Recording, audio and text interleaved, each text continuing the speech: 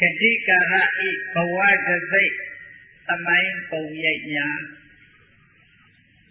ဘုန်းကြီးတို့မှတ်လို့သားလို့လွယ်အောင်တရားဓမ္မရဲ့နာမည်ကိုဘဝတစိတ်သမိုင်းပုံရိပ်လူတိုင်းလူတိုင်းဟာဘဝဆိုတာရှိကြတယ်နော်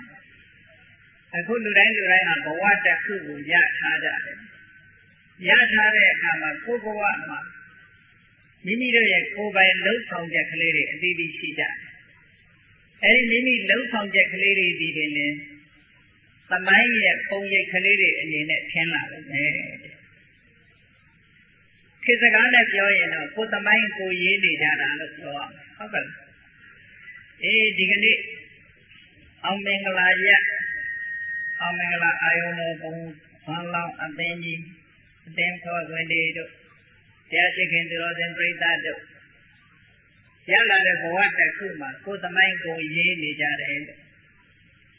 ကိုယ်သမိုင်းကိုရေးနေတာဖတ်တဲ့လူရှိသည်ဖြစ်စေမရှိသည်ဖြစ်စေသမိုင်းကတော့ပြီးပြီးပြင်းပြင်းရေးပြီးသားဖြစ်နေတာပဲဘသူကအတိမပြုပြုအတိမမပြုပဲနေနေသမိုင်းဘဝတစိတ်ရဲ့သမိုင်းပုံရိပ်တွေကတော့ရှင်းနေရမှာပဲဟုတ်ကဲ့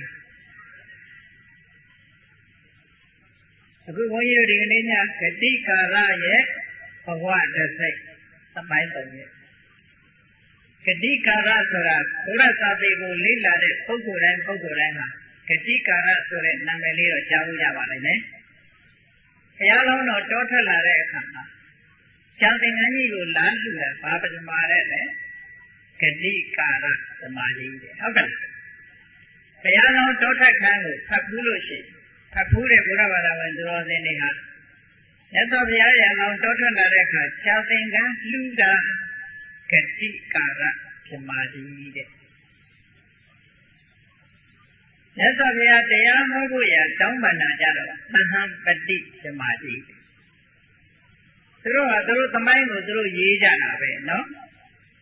အေးဂတိကာရဆိုတဲ့သမာဓိရဲ့ဘဝတစိတ်ဘယ်လိုရှိတယ်လဲ ခုချိန်မှာကြည့်မယ်ဆိုလို့ရှိရင်ဂတိကာရသမာဓိဒီ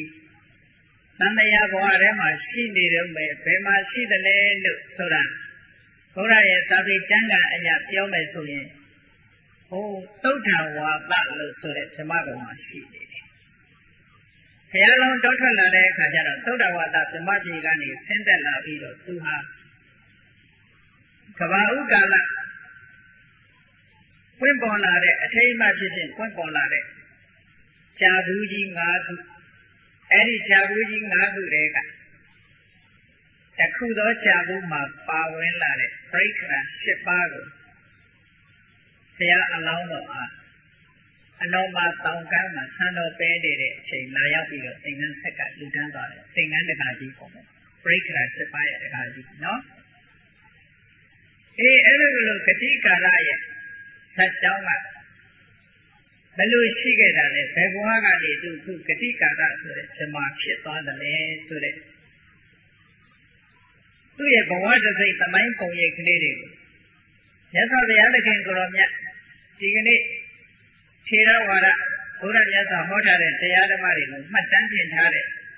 ပိဋက30နိကေ9ပြဓမ္မခန္ဓာပေါင်း7400ဆိုတဲ့ထေရဝါဒကျမ်းစာတွေထဲမှာ မစ္စည်းမနိကေမှာဂတိကာရသုတ်တံဆိုတာမှတ်တမ်းတင်ထားတာရှိတယ်ဒီကနေ့ဇမာကြီးကနေလူပြေကိုလှမ်းပြီးတော့အာယုံပြုလိုက်တယ်ဆိုလို့ရှိရင်အေးဘုံရွာမြို့အောင်မင်္ဂလာရက်မှာငါအကြောင်းကိုဒီကနေ့ဟောနေတယ်လို့သူသိကောင်းသိနိုင်တယ်အဲ့ဒီဂတိကာရဇမာကြီးဟာလူဘဝတုန်းကအမတန်ထူးခြားတဲ့လူတစ်ယောက်ဖြစ်ခဲ့ပုံတယ် ဒါကြောင့်မလို့ဒီသုတ်တန်ကိုကျမ်းစာပြည့်တဲ့ပုဂ္ဂိုလ်တွေမှာဘဝရဲ့သင်္ကန်းစာပုဂ္ဂိုလ်တဦးတယောက်ထံကဖြစ်စေအခြားအတွေ့အကြုံတွေကဖြစ်စေဘဝကိုသင်္ကန်းစာယူပြီးတော့ကိုယ့်ဘဝကိုယ်သမိုင်းကြောင်းကောင်းအောင်ပုဂ္ဂိုလ်ကိုသမိုင်းလှလှလေးတွေရေးမှတ်ထားဖို့အမတန်မှအရေးကြီးပါတယ်ဘဝသမိုင်းမရိုင်းစေဖို့အားလုံးဟာဆောင်ရွက်ကြရမှာဖြစ်တယ် ဂတိကာရမြမကြီးအကြောင်းကိုပြန်ပြောင်းပြီးတော့ဘုဘုရားမြတ်စွာကဟောကြားတာလည်းပဲသလန်းပံပါပဲအေးအဲ့ဒီတုတ်တံမှာစထားတာကမြတ်စွာဘုရားတခင်ကိုရောမြတ်ကကောသလတိုင်းတစ်ခွင်မှာဒေသစာရိလှည့်လှည့်တယ်ဒေသစာရိလှည့်လှည့်ရင်းကနေပြီးတော့လမ်းခရီးတစ်ခုမှာလမ်းလေးဆင်းပြီးတော့တစ်တော်အုပ်ကလေးရှိတဲ့ ကုန်းမြေပြင်လေးတစ်ခုမှာခိတ္တခဏအပန်းဖြေနားနေအဲ့ဒီကုန်းမြေပြင်လေးမြတ်စွာဘုရားရောက်လို့မထိုင်ခင်လေးမှာဘုရားကထိုကုန်းမြေပြင်လေးကိုချိပြီးတော့မြတ်စွာဘုရားတခင်ကိုရောမြတ်ဆိုတာ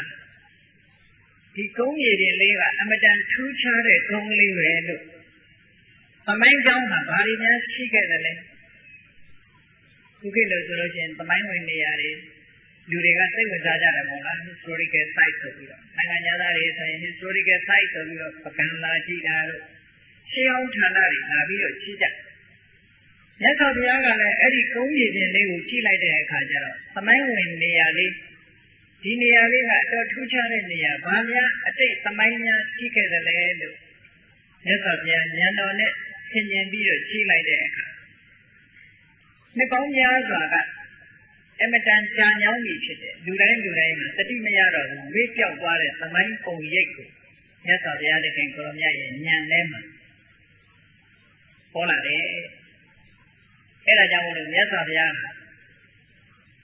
နှုတ်ခမ်းတော်လေးသွားပြားလေးတွေပေါ်ယုံပြုံးရောင်တန်းလိုက်ဘုရားဆိုတာအကြောင်းမဲ့ဘယ်တော့မှမပြုံးဘူးမျက်နှာကြည်ကြည်တတ်တတ်အမြဲတမ်းသတင်းသုံးလေးရှိအဲ့ဒီအချိန်မှာမြတ်စွာဘုရားတခင်ကိုရောမြတ်က သမိုင်းကုံရိပ်ကိုလှမ်းကြည့်ရင်းကနေပြီးတော့ပြုံးတော်မူတာကိုရှင်အနန္ဒမထေရမြတ်ကတတိပြုလိုက်တယ်အေးဒါကြောင့်လို့ရှင်အနန္ဒာကမြတ်စွာဘုရားသခင်ကိုရောမြတ်ဘာကြောင့်ပြုံးတာလဲဘုရားဆိုတာကိုရှောက်တော့မြတ်စွာဘုရားကအနန္ဒာတဲ့ဒီနေရာကသမိုင်းဝင်နေရာတစ်ခုဖြစ်ခဲ့တယ်ဟိုးရှိတုန်းကအမတန်လူဦးရေထူထပ်ပြီးတော့အလွန်စီကားပြီး တွတ်တက်ခဲ့တဲ့ဝေခလိန်ကဆိုတဲ့မိကုံးရွာကြီးဒီနေရာမှာရှိခဲ့ဘူးလေခုကိဆိုရင်သမိုင်းကြောင်းတွေကိုတူးဖော်ချိမှလာသိနိုင်တာနော်မြတ်စွာဘုရားကတော့ဉာဏ်တော်နဲ့အတိတ်ကိုစေစားပြီးတော့ချိလိုက်တဲ့အခါမှာဒီနေရာမှာသမိုင်းဝင်နေရာဆိုတာမြတ်စွာဘုရားကသိအေးခုမုံရမျိုးကြီးဘယ်နေရာမှာဘယ်မင်းလက်ထက်ကဘာရှိခဲ့တယ်ဆိုတာ သမိုင်းမှတ်တမ်းရှိရင်တော့တူးဖော်ပြီးတော့ရှိရမယ်သမိုင်းကြောင်းကတော့ဧကန်ရှိခဲ့တာနေရာတိုင်းနေရာတိုင်းဟာသမိုင်းကြောင်းရှိတာလေးရှိပဲသို့တော့သစ္စုပ္ပန်မှာရှိကြတယ်မျက်မှောက်ခေလူသားတွေကထိုသမိုင်းကြောင်းကိုမေ့ထားကြတယ်မြတ်စွာဘုရားကတော့အတိတ်သမိုင်းကြောင်းကိုဆင်ခြင်ကြည့်လိုက်တဲ့အခါမှာထူးခြားတဲ့ဒေသတစ်ခုဖြစ်ခဲ့တာသွားပြီးတော့မြင်ရ လောကကြီးကသာဝရပြောင်းလဲနေတာဆိုတာကိုဘုန်းကြီးတို့တရားရှိခိုးတော်တဲ့ပြိဿတို့မှတ်ထားရဒီကနေ့မုံလာမျိုးကြီးဟာအလွန်စီကားခဲ့စီကားနဲ့ရဲ့ရှင်လွန်ခဲ့တဲ့နှစ်ပေါင်း900လောက်ကပြန်ကြည့်မယ်ဆိုရင်ဒီလောက်စီကားတဲ့နေရာမဟုတ်နိုင်ဘူးဟုတ်ကဲ့ဒီနောက်တစ်ချိန်နောက်နှစ်ပေါင်းများစွာကြာသွားလို့ရှိရင်ဒီမုံရမျိုးကြီးနေရာမှာလူနေဒေသဟုတ်ကောင်းမှဟုတ်လေအခုကြည့်လေအလုံးသိကြတဲ့အတိုင်း ပကံဒေသကြီးကိုလှမ်းပြီးတော့ကြည့်လိုက်မြမရဲ့ဥဆုံးမြန်မာနိုင်ငံမှာပထမဆုံးမြန်မာနိုင်ငံတော်ကြီးကိုစုစည်းပေးတဲ့အန္တရာဂဝင်ကြီးစိုးစံသွားတဲ့ပကံနိုင်ငံကြီးကိုကြည့်ဒီကနေ့ဖရာပထိုးတွေရှိနေလို့ပကံနိုင်ငံကြီးမပြောက်ပြက်သေးတာလို့မို့ဆိုရင်ပကံဆိုတာရွာသေးသေးလေးဖြစ်မနေဘူးလားဖြစ်နေတယ် ဇေဒီပထိုးတွေနဲ့အဆောက်အုံတွေကြောင့်မို့လို့သမိုင်းမှတ်တမ်းတွေဟာချမ်းနေသည့်အတွက်ကြောင့်သမိုင်းရာဆိုရင်ရတစ်ချိန်တုန်းကအနောထာဆိုတဲ့ပါဠိလိုဆိုရင်အနိရုဒ္ဓလို့ဆိုတဲ့ဘုရင်ကြီးတစ်ပါးဒီနေရာမှာတိုင်းပြည်ကိုစူးစီးပြီးတော့မြန်မာနိုင်ငံကိုဥဆောင်ခဲ့တယ်မြန်မာလူမျိုးတွေရဲ့ဥဆောင်ကိုတည်ထောင်အောင်ဆောင်ရွက်ခဲ့တယ်ဆိုတာအလုံးသမိုင်းအရသိနေကြတယ် ထို့တူပဲမြတ်စွာဘုရားကထူးခြားတဲ့ဘုံမီလေးရဲ့သမိုင်းများကိုပြန်ပြီးတော့ဇာတ်ကြောင်းပြန်အေးဝေခလိန်ကဆိုတဲ့အမတန်စီကားတဲ့ရွာကြီးတစ်ရွာဖြစ်တယ်တဲ့အဲ့ဒီရွာကြီးကစီကားယုံနဲ့မကဘူးကတ္တဗမြတ်စွာဘုရားသခင်ကိုရောမြတ်ခေါရမမြတ်စွာဘုရားရဲ့အရင်ပွင့်တဲ့ဘုရားကကတ္တဗဘုရား ကတ္တဗမြတ်စွာဘုရားသခင်ကိုရောမြတ်ရဲ့ကျောင်းတော်ရာဟာလည်းပဲဟောဒီဝိကလိန်ကဆိုတဲ့ဒီကုန်းရွာကြီးကိုအမိပြုပြီးတော့ကျောင်းတော်ရာကြီးတည်ရှိခဲ့တယ်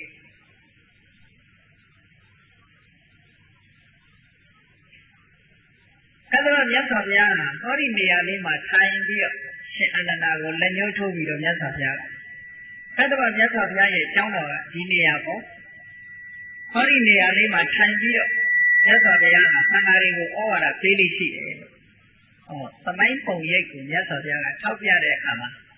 ရှင်အနန္ဒမထေရမြတ်ကမြတ်စွာဘုရားရဲ့နှစ်ထပ်သင်္ကန်းကြီးကိုလေးပေါက်ခောက်ပြီးတော့ဘုရားညွှန်ပြတဲ့နေရာလေးမှာ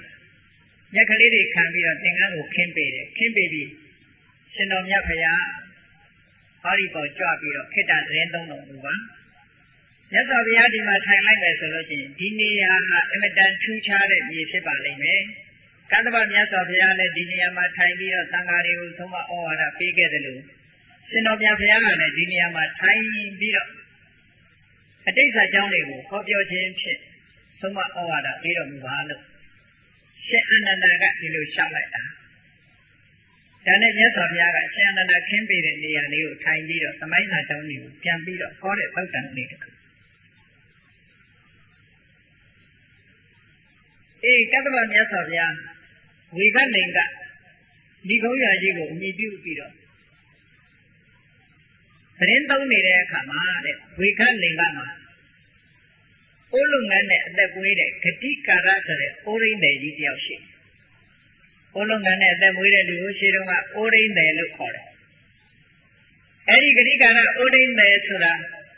ကတ္တဝမြတ်စွာဘုရားရဲ့အမတန်မှယဉ်နှီးတဲ့ဒကာယဉ်တူဖြစ်တယ်။ဂ တိကာရအိုးရင်းတယ်ကြီးကမြတ်စွာဘုရားရဲ့အလွန်တရာမှ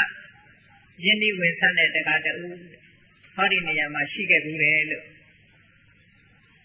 မြတ်စွာဘုရားကအတိတ်ဇာတ်ကြောင်းလေးကိုပြန်ပြောတဲ့အခါမှာ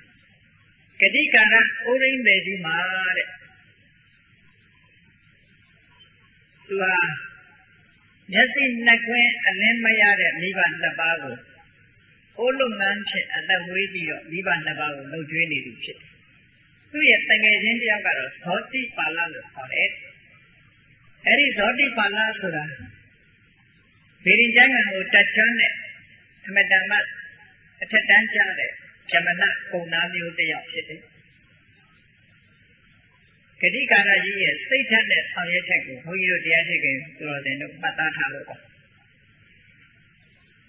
အဲ့ဒီတော့ကအဖြစ်အပျက်ကလေးတစ်ခုအဲ့ဒီဂတိကာရအိုရင်းနေကြီးဟာသူ့ရဲ့အမတန်မှရင်းနှီးတဲ့သောတိပါဏဆိုတဲ့တငယ်ချင်းကိုအေးတငယ်ကြီး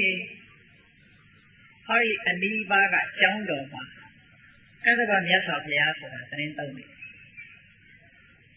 တရားရှိခင်သူတော်စင်ပြိဿတ်တို့ကသဗ္ဗမြတ်စွာဘုရားပွင့်တဲ့အချိန်မှာလူတွေရဲ့သက်တမ်းဘယ်လောက်ရှိသလဲ။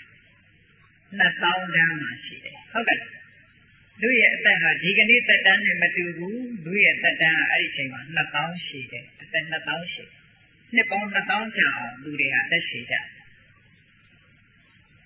အရာမောင်းတွေဟာလည်းပဲအသက်ရှင်သည့်အတွက်ကြောင့်ဒီတဲ့တော့ထွားကောင်းထွားလိုက်မှာပေါ့အဲ့တော့လူတွေရဲ့ဘဝဟာသာဝရတည်မြဲနေတာမဟုတ်လူရဲ့အသက်ဟာလည်းသာဝရတည်မြဲနေတာမဟုတ်ဘူးဆိုတာမှတ်တမ်းတင်ကြရမှာပဲအနောယထာမင်းလက်ထက်က အနေထားနဲ့ခဏိခေအနေထားတူချင်မှတူအားလုံးတူတာတော့မဟုတ်နဲ့ဘာသာစကားလည်းပဲအားလုံးတူတယ်လို့ပြောလို့မရဘူးဟုတ်ကဲ့ရှင်းတော့ကပကံခိကကြောက်စာတွေကြည့်ကျောင်းကိုကလောင်းလို့ရေးတယ်ဒီကနေ့ကျောင်းအဲ့ဒီတော့ကကလောင်းလို့ရေးရွေ့ကိုလူရဲလို့ရေးတယ်ဒီကနေ့ရွေ့တကားအတန်နေဟာလည်းပဲပြောင်းသွားတယ်အဲ့တော့လူတွေရဲ့ရုပ်ပုံလွှာတွေဝတ်စားဆင်မှုတွေလည်းပဲအများကြီးပြောင်းမှာပေါ့ ကတ္တဗမြတ်စွာဘုရားရဲ့တက်ကဘဝပုံရိပ်တွေဘဝတသိသမိုင်းပုံရိပ်တွေကဒီကနေ့ပုံရိပ်နဲ့တူကောင်းမှတူမယ်သို့တော့လူရဲ့အစဉ်တဏ္ဍာကတော့တူတူပါပဲအေးဂတိကာရမြမကြီးကတငယ်ချင်းကိုခရထံမရောက်အရောက်ခေါ်တာနော်တငယ်ချင်းဆိုတာကောင်းရာကိုပို့တဲ့ပုဂ္ဂိုလ်မှကလျာဏမိတ်တာတကယ်ချင်းဆိုတာလည်းအမျိုးမျိုးရှိတယ်တကယ်ချင်းကတချို့ပဲခေါ်သွားတတ်တယ်ဒီ ရက်ဆိုင်လို့တော့ခေါ်သွားတတ်တယ်ဟုတ်ကဲ့ကစားဝိုင်းကိုခေါ်သွားတတ်တယ်အပြောအပါကိစ္စတွေကိုခေါ်သွားတတ်တယ်အခုဂတိကာရကတော့သူတငယ်ချင်းကိုဘယ်ခေါ်တော့ဆိုတော့ဘုရားချောင်းတော်ခေါ်တာဒါလည်းပဲသူ့ရဲ့သမိုင်းလုပ်ငန်းစဉ်တစ်ခုပဲဟုတ်ကဲ့ကိုသမိုင်းကိုရေးတယ်ဆိုတာအဲ့ဒါလေးလည်းမှတ်ရတယ်ဂတိကာရဆိုတာဥရိနဲ့ဖြစ်ပေမဲ့လို့သူ့ရဲ့စိတ်ထားကအလွန်မြတ်တယ်သူ့တငယ်ချင်းကိုမရအရ သူ့တငယ်ချင်းကအဲ့ဒီချိန်မှာဘုရားဘာသာမဟုတ်ဘူးလို့ပြောအောင်အေးတငယ်ချင်းတယောက်ကိုအမတန်မှချစ်ခင်တဲ့တငယ်ချင်းကို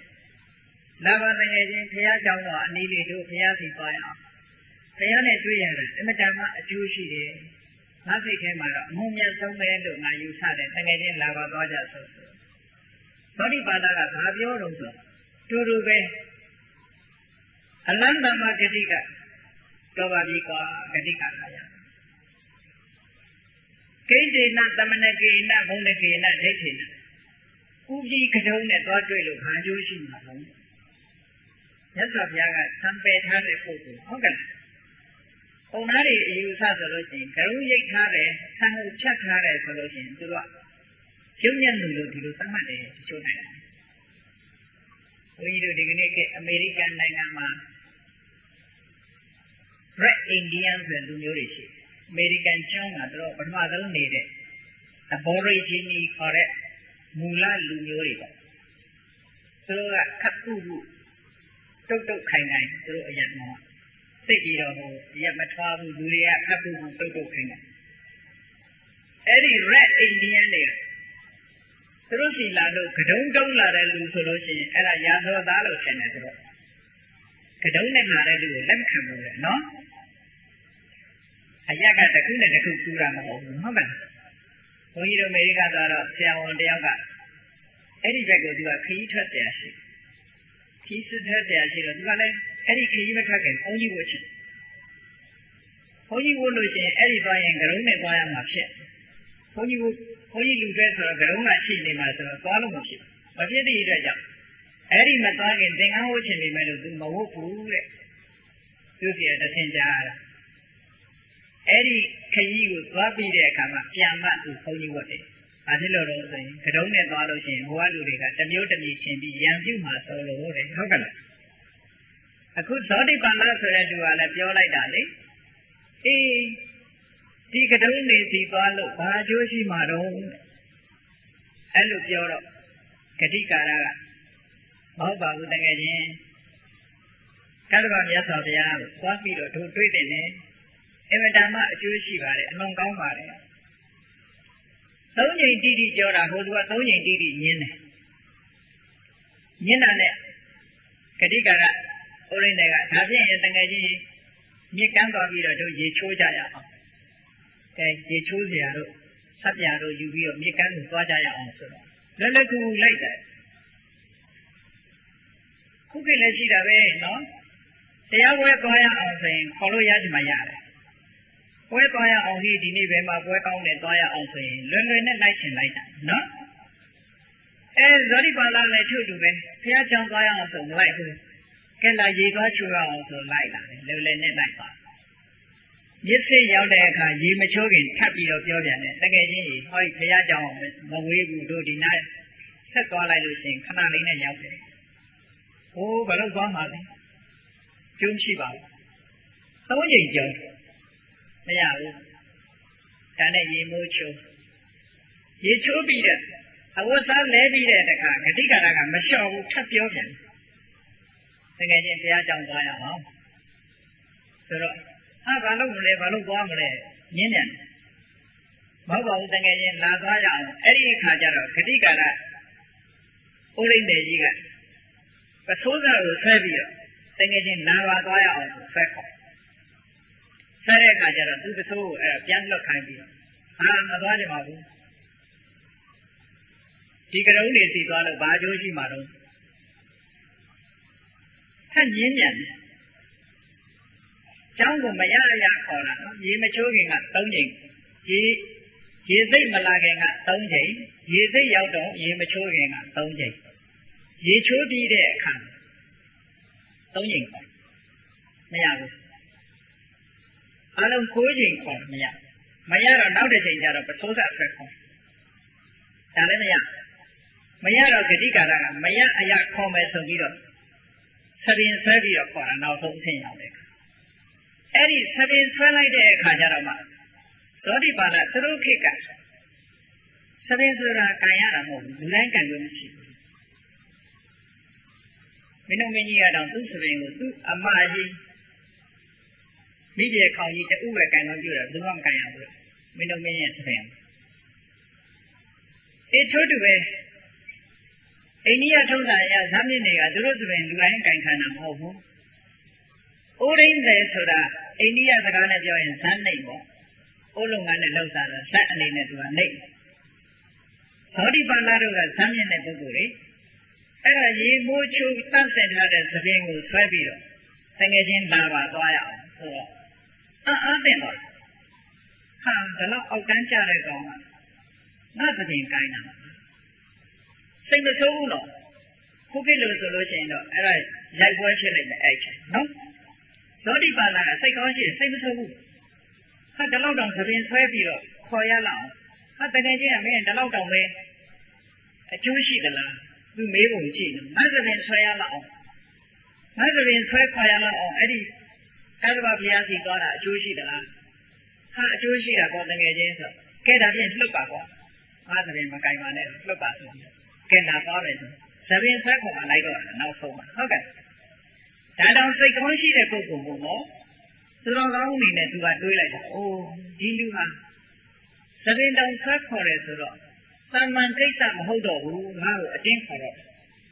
ဖိုင်ဖို့လို့ခေါ်တာအတင်းချက် အတင်းချက်ခေါ်တယ်ဆိုတော့ဒါတာမန်ကိစ္စမဟုတ်ဘူးအမတန်ကအကျိုးရှိလို့နောက်ပေါ်မှာကောင်းကျိုးလိုလားလို့ခေါ်တာဖြစ်နေတယ်ဟောဒီနှလုံးသွင်းရတယ်အလွန်ကောင်းတဲ့နှလုံးသွင်းတယ်ဟုတ်ကဲ့အဲ့ဒါနဲ့လိုက်သွားတယ်ဆိုတော့ကျောင်းတော်ရောက်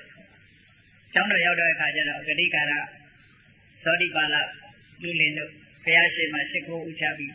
ရှင်ဘုရားတဲ့ဟောတာတပည့်တော်ရဲ့တငယ်ချင်းဇောတိပါဠပါတဲ့အလွန်ရင်းနှီးတဲ့တငယ်ချင်းဖြစ်ပါတယ် သူ့ကိုဆုံးမဩဝါဒပေးပါဗျာဆိုမြတ်စွာဘုရားတရားဟော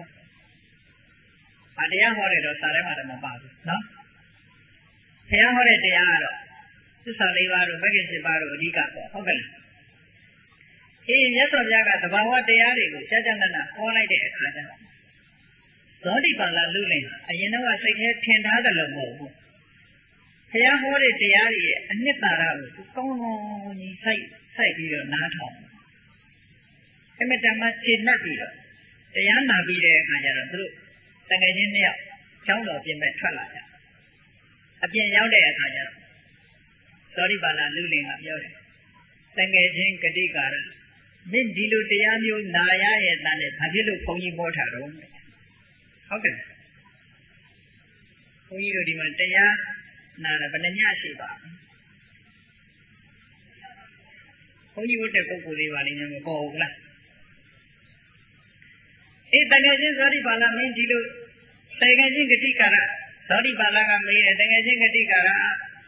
ဒီလိုတရားမျိုးနာပြီးတော့မင်းဘာဖြစ်လို့ဘုန်းကြီးမောထားတော့ဆိုတော့ဟာတကယ်ချင်းမင်းသိတာပဲငါမှအမေအိုအဖေအိုမျက်စိနှကွင်းအလင်းမရ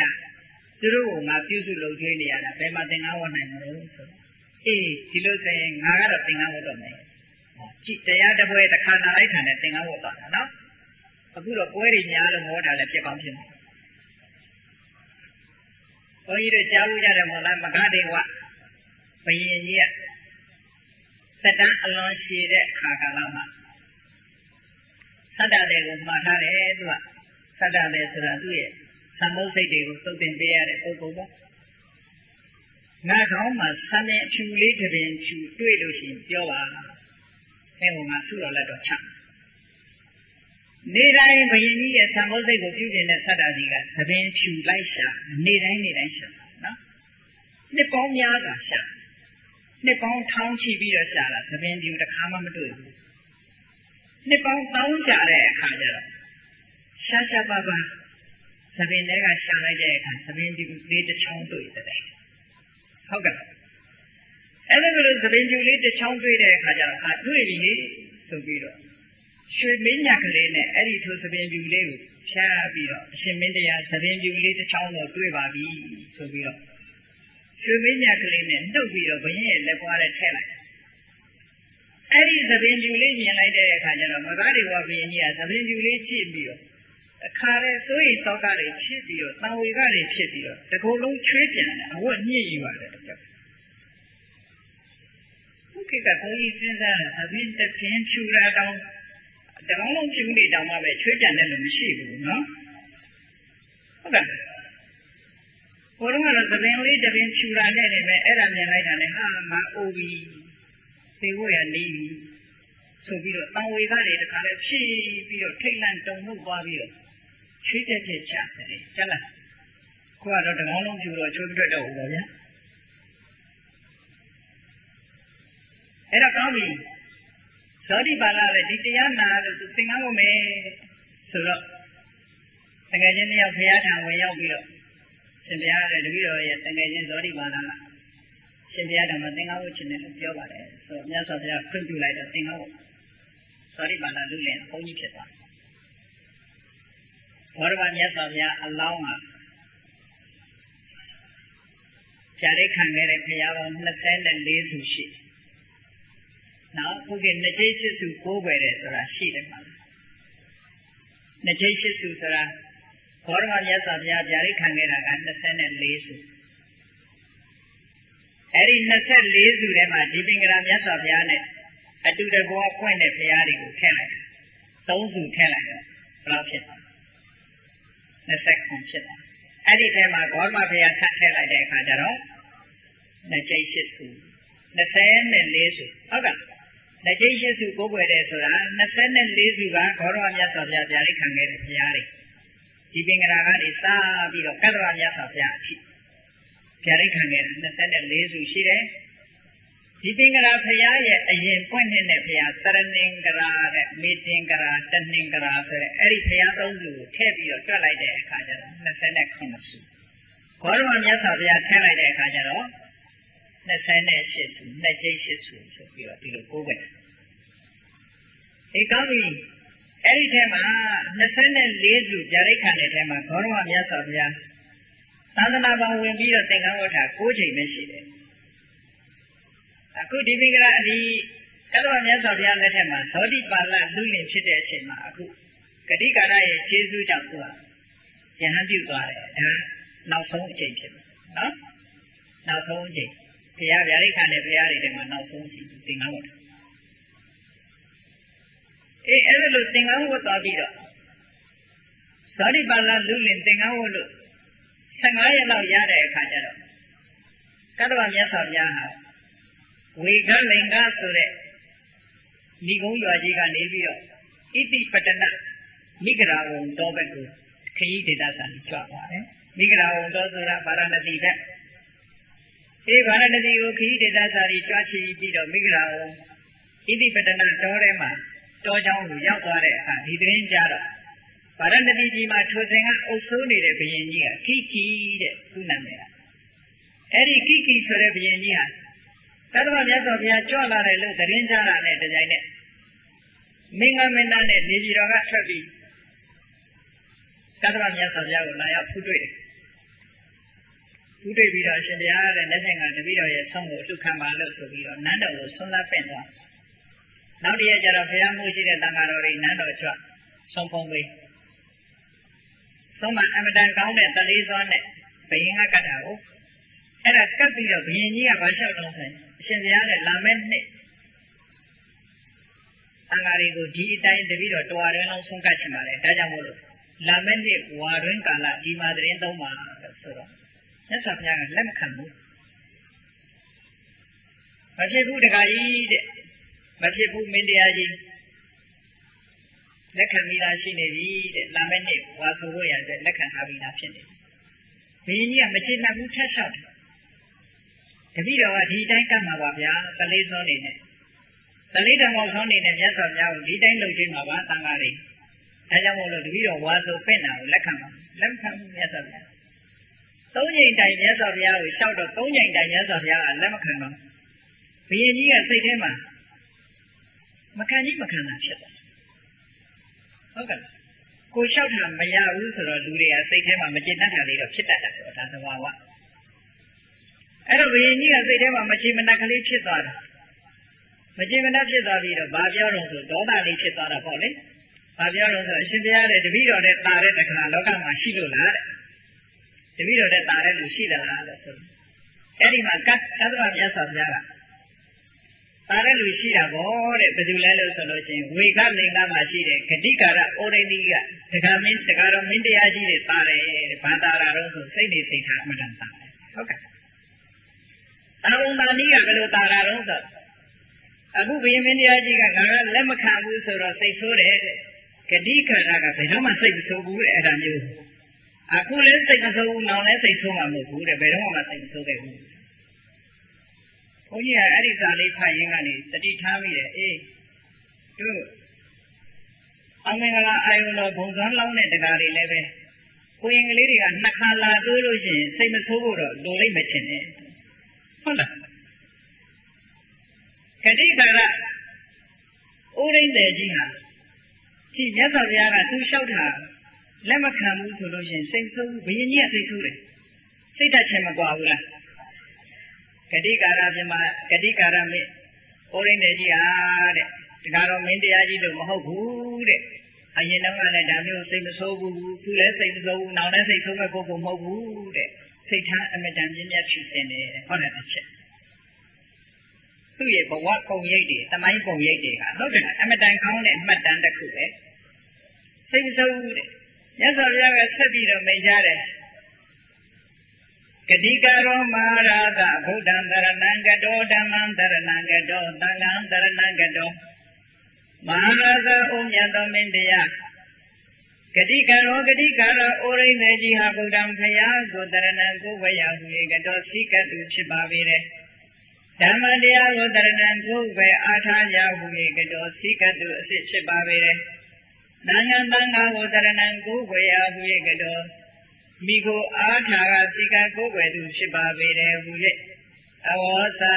ကောင်းစွာမသွေမိန်ကြတော်မူခဲ့ပါပေတည်း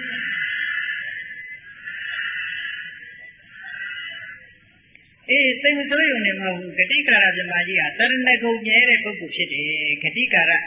အိုးရိမ့်နယ်ကြီးဟာတရဏဂုံမြဲတယ် ဂတိကာရောဂတိကာရဆိုတဲ့ဥရိနေဟာပါဏာတိပါတာသူတကုတချင်းမဝိရတော်ရှောင်ကျင်သူဖြစ်တယ်။အရိဏဒါနသူတော်ဘာမပေးတဲ့ပစ္စည်းဥစ္စာကိုယာယူခြင်းမှပฏิဝိရတော်ရှောင်ကျင်သူဖြစ်တယ်။ကာမိတုမိစ္ဆာသာရကာမဂုဏ်တို့မှာမှားယွင်းသောအခြင်းကိုပြုကျင့်ခြင်းမှပฏิဝိရတော်ရှောင်ကျင်သူဖြစ်တယ်။မူသာဝါရမူသာစကားကိုပြောဆိုခြင်းမှပฏิဝိရတော်ရှောင်ကျင်သူဖြစ်တယ်။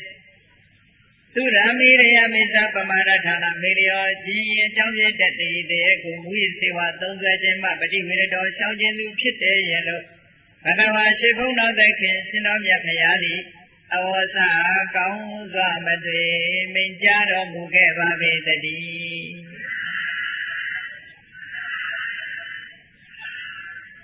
ကတိကရဟတရဏဂုံတိတာတွေမဟုတ်ဘူးငါးပါးတိလာလည်းမြဲတယ် ဒါလည်းမကဘူးဂတိကာရောဂတိကာရဆိုတဲ့ဥရိန္ဒေကြီးဟာဗုဒ္ဓမြတ်စွာဘုရားနဲ့အဝိစ္စပတာရေနဉာဏ်တဝင်ယုံကြည်ခြင်းလို့ဆိုတဲ့အသိဉာဏ်ပါတဲ့တရားတရားနဲ့သမဏဂတော်ပြည့်စုံသူဖြစ်တယ်။ဘုရားကိုနှစ်နှစ်ကာကာယုံကြည်တာအဝိစ္စပတာရဘုရားကိုယုံကြည်တယ်ဆိုတဲ့ဘုရားကိုကိုးကွယ်တယ်ဆိုတဲ့နေရာမှာလည်းအမျိုးမျိုးရှိတယ်နော်။ တချို့ကလက်ရခြင်းလို့ကိုးဝယ်တာရှိသေးတယ်အေးလာဘမှုနိလေးကိုးဝယ်ထားရင်တော့လက်ကောင်းတယ်ဆိုပြီးတော့ဘုရားကိုကိုးဝယ်ကြလက်မကောင်းရင်ဒီဘုရားအိမ်မောချမှာသိတာအဲ့ဒီလိုမဟုတ်ဘူးအဝိသပတာရဆိုတာဂုံတော်ကိုသိပြီးတော့မြတ်စွာဘုရားရဲ့အကြီးအသေးတွေကိုရှင်းတတ်လို့ကိုးဝယ်ရှင်းတတ်လို့ကိုးဝယ်တာဖြစ်ရမယ်လက်လက်ပါကိုလိုချင်တယ်လို့ကိုးဝယ်တာမျိုးမဖြစ်တဲ့ဟုတ်ကဲ့ လက်လက်ပါကိုလိုချင်လို့ကိုးကွယ်တာမျိုးကြတော့ဒါမစစ်ဘူးလောဘနဲ့ကိုးကွယ်တာဖြစ်နေတယ်တရားနဲ့ကိုးကွယ်တာမဟုတ်ဘူးအဲ့တော့ဘုရားကိုးကွယ်တိုင်းကောင်းတာမဟုတ်ဘူးဘုရားကိုးကွယ်တိုင်းမြင့်မြတ်တာမဟုတ်ဘူးမြတ်စွာဘုရားကိုကိုးကွယ်ပြီဆိုလို့ချင်းတကယ်ကိုမောင်မြတ်တဲ့ပုဂ္ဂိုလ်ထူးခြားတဲ့ပုဂ္ဂိုလ်အနေနဲ့ကိုးကွယ်တိုင်းလို့ကိုးကွယ်တဲ့ဂုဏ်တော်တွေကိုသိပြီးတော့အသိဉာဏ်နဲ့ကိုးကွယ်တာဒီလိုဖြစ်တယ်အဲ့ဒါကအဝိဇ္ဇပတာရလို့ခေါ် အဝိဇ္ဇပတာဒိနာအသိဉာဏ်နဲ့တဝင်ယုံကြည်ခြင်းလို့ဆိုတဲ့တရားတရားနဲ့သမဏရတော်ပြည့်စုံသူဖြစ်တယ်ဓမ္မေဝိဇ္ဇပတာဒိနာသမဏရတော်တရားတော်မှာလည်းပဲတဝင်နဲ့အသိဉာဏ်ဖြင့်တဝင်ပြီးတော့ယုံကြည်တဲ့တရားတရားနဲ့ပြည့်စုံသူဖြစ်တယ်သံဃေဝိဇ္ဇပတာရိနာသမဏရတော်သံဃာတော်အပေါ်မှာလည်းပဲသက်ဝင်ယုံကြည်မှုဆိုတဲ့အသိဉာဏ်ပါတဲ့တရားတရားနဲ့ပြည့်စုံတဲ့ပုဂ္ဂိုလ်ဖြစ်တယ်အရိယကံတေနသီလေနသမဏကတော အရိယာတွေမုံမုံမြတ်မြတ်ထိမ့်သိမ်းဆောက်ရှောက်တဲ့ကိုခြင်းတရားနဲ့လည်းပြည့်စုံမှုဖြစ်တယ်။တရားတရားသံဃာကိုးဝေတာတမန်ကိုးဝေတာမဟုတ်ဘူးတဲ့အသိဉာဏ်နဲ့ခိုင်မာတဲ့သရတရားနဲ့ကိုးဝေတာဖြစ်တယ်။ကိုခြင်းတရားကိုလည်းမျက်မျက်နှိုးနှိုးရှင်းသုံးတယ်။တခြားပစ္စည်းတွေစွန့်ညင်စွန့်မစင်ဟာသီလကိုလည်းမစွန့်ဘူးလို့ဆိုတယ်။သီလကိုလွယ်လွယ်ကူနဲ့မဖြစ်ဘူး။သီလကိုအမတန်မှပြန်လို့တယ်။ ရွှေငွေတွေပေါ်မှာမြန်နိုးတာတဲ့သီလကိုမြန်နိုးအေးသူတော်ကောင်းတွေကသီလကိုမြန်နိုးပြီဆိုတာတဏ္ဍပုဂ္ဂိုလ်တွေနဲ့မတူဘူးဘုရားလောင်းနေရှင်းတယ်ဆိုတာသီလပါရမီတဲ့သီလဥပပါရမီသီလပရမတ္ထပါရမီသီလပါရမီဆိုတာသမ္မာကျင့်တဲ့သီလသီလဥပပါရမီဆိုတာခြေကျိုးလက်ကျိုးခံပြီးတော့ကိုခန္ဓာကိုယ်အထိကိခံပြီးတော့ကိုသီလကိုထိန်းတာသီ လဖောက်ချက်ရမယ်ဆိုရင်မဖောက်ချက်ဘူးခန္ဓာကိုယ်အထိကိခံတယ်သီလပရမတ္ထပါရမီဆိုတာအသက်အသေးခံပြီးတော့သီလကိုစောင့်ဒီလိုစောင့်ထိန်းတာကသီလပရမတ္ထပါရမီလို့ခေါ်တယ်အဲ့တော့ဂတိကာရဥရိမေကြီးကအရိယကတ္တသီလအရိယာတွေအမတမမြတ်လို့တဲ့သီလနဲ့ပြည့်စုံလို့ဆိုတာသီလကိုမျက်မျက်နှိုးနှိုးထိမ့်သိမ်းဆောက်ရှောက်တဲ့ပုဂ္ဂိုလ်ဖြစ်တယ် မြတ်စွာဘုရားကိုယ်တိုင်တိုင်ကချီးကျူးခံရတဲ့ပုဂ္ဂိုလ်ဆိုတာသမန်ဂုံကြီးတွေမဟုတ်ဘူးနော်ဒါရမဏလို့ဆိုတော့မကဘူးဂတိကာရောဂတိကာရဩရိနေကြီးဟာဒုက္ခေဒုက္ခသစ္စာနဲ့နေခင်ခေါ်ယုံမှကင်းမဲ့သူဖြစ်ပါပေတယ်သစ္စာလေးပါးပေါ်မှာလည်းပဲယုံမှကင်းမဲ့တယ်ဒုက္ခဒုက္ခသမုဒယဒုက္ခនិရောဓဒုက္ခនិရောဓကာမိနိ ဘယ်ညာပဲဖြစ်ဖြစ်စဉ်းစဉ်စဉ်းစားကြည့်လိုက်ဘုန်းကြီးတို့တွေလူဘဝကြီးရထားတာပါရတော့ဆိုခန္ဓာ၅ပါးရထားတာနော်အဲ့ဒီခန္ဓာ၅ပါးကြီးရထားတာပြဿနာကြီးတစ်ခုရထားတာပါပြဿနာလို့သူပြဿနာတော့ကြီးတာပဲရှိမလဲသာဝနေရေးဖြည့်ရှင်းနေရတာလေသူ့အတွက်ပဲမဟုတ်လားပြဿနာကအလွန်ကြီးတာနော်ဒီထဲမှာသူကရက်နေသလားဆိုမရက်ဘူး ကြည့်လေမရက်ဘူးဆိုတော့ဘလောက်ကျင်ရှားတော့အမေမွေးတော့ကလူလေးသေးသေးလေးတွေကြီးပဲမဟုတ်လားအဲ့တိုင်ရက်နေတာဟုတ်ကြလားအေးရက်နေတယ်ဆိုရင်အခုတော့အားလုံးဟာဘေဘီလေးပဲနေမှာပေါ့နော်ရက်မနေဘူးကြီးကြီးကြီးကြီးကြီးကြီးပြီးတော့လာတာကြည့်အဲ့ဒါပြဿနာကြီးတစ်ခုပေါ့ကြီးလာရုံနဲ့သူ့ဘာသူအေးစေးစေးကြီးလာရုံနဲ့မပြီးသေးဘူးကောင်းပေါ်ကဆာမင်လေးကဖြူသေးတယ်သွားကကျိုးလာတယ်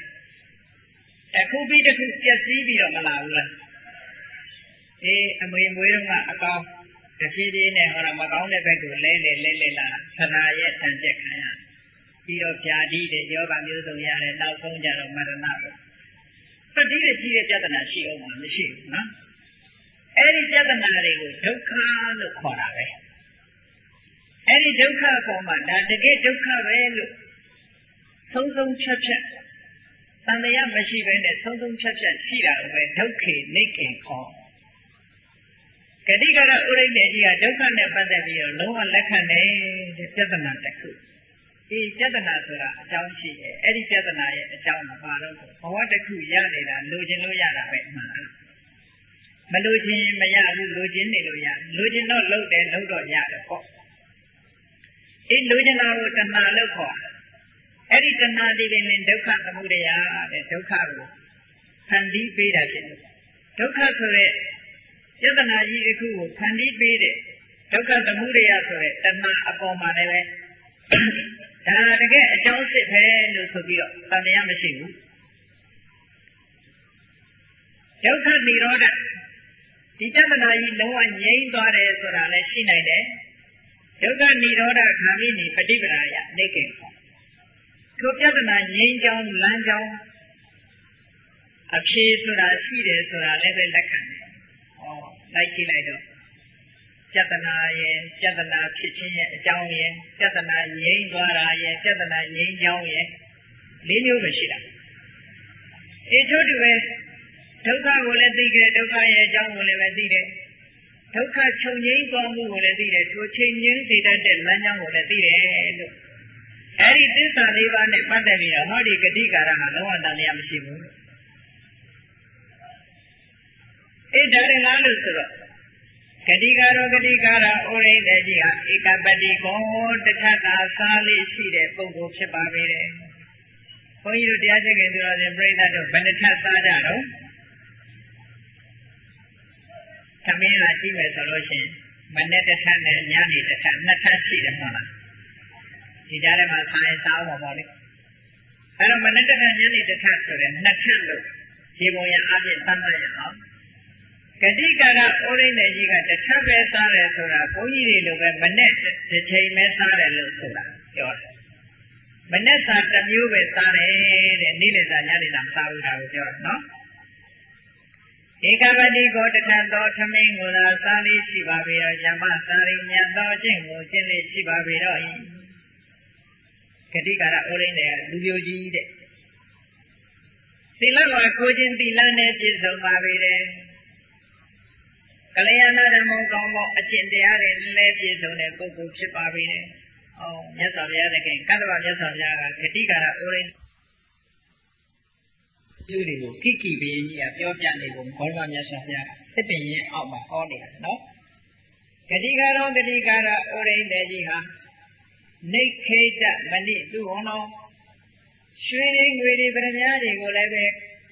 ထိမ့်သိမ့်ပြီးတော့လက်ခံပြီးတော့စုဆောင်းထားတဲ့ပုဂ္ဂိုလ်မဟုတ်ပါချထားတဲ့အေးဘုန်းကြီးတို့တွေသက်ဆံချမ်းသာလာတဲ့ပုဂ္ဂိုလ်တွေကပါဝယ်တန်ဖိုးရှိတဲ့ကြောက်တို့တန်ဖိုးရှိတဲ့ငွေတို့တန်ဖိုးရှိတဲ့ရွှေတို့စိန်တို့ဒါမျိုးဝယ်ပြီးတော့ထားလိုက်ရှိခဏခဏအိုရင်းတဲ့ကြီးကအဲ့ဒီလိုရွှေတွေစိန်တွေမစုဘူးတဲ့သူကမကင်ဘူးတဲ့အဲ့ဒါတွေကိုသူ့လက်ထဲမှာမထားဘူးတဲ့ဟုတ်ကဲ့ဘာအပ်ထားတာလည်းမဟုတ်ဘူး သူလည်းမခံဘူးဒါမျိုးမဝယ်ဘူးလို့ဆိုတယ်ဟုတ်ကဲ့အပိတာသတ္တရူပောအပိတာရသတ္တသတ္တရူပောရွှေငွေတင်ကပိုက်ဆံမလည်းပဲကင်းကွာနေသူဖြစ်တယ်ဘယ်တော့မှလည်းပိုက်ဆံမကင်ဘူးတဲ့ဒါဖြင့်သူပိုက်ဆံလည်းမကင်ဘူးစိတ်နေပါလေလည်းမစုဘူးဆိုတော့ဘယ်လိုအသက်မွေးနေတုံးလို့ဘုန်းကြီးတို့တရားချက်ခင်သူတော်ရှင်ပြိတ္တတွေစဉ်းစားမိကောင်းစဉ်းစားမိတယ်ဂတိကာရောဂတိကာရဩရိန်တေကြီးဟာပဏ္ဏမူသလော ခြားထားသောချက်ပွေးရှိတယ်ချက်ပွေးရှိတယ်ဆိုဘာမှကိုသူကတစုံတစ်ခုထောင်းဖို့တို့ခွာဖို့တို့ဓာတ်တို့ဘာတို့လက်နဲ့သူ့အိမ်မှာတစ်ခုမှမရှိဘူးတဲ့ဒါဖြင့်အိုးလုပ်ငန်းသူဘယ်လိုလုပ်တုံးလို့ဆိုတော့ကဘာပြိုတဲ့နေရာကမြေလေးတွေကိုတည်ပြီးသူ့ဟာသူပြိုကြတဲ့ကဘာပြိုတဲ့နေရာကမြေလေးတွေကိုယူပြီးတော့အိုးဖုတ်ထားတယ်ဟုတ်ကဲ့နောက်ကြက်ကလေးတွေကနေကြွတင်းတူးတော့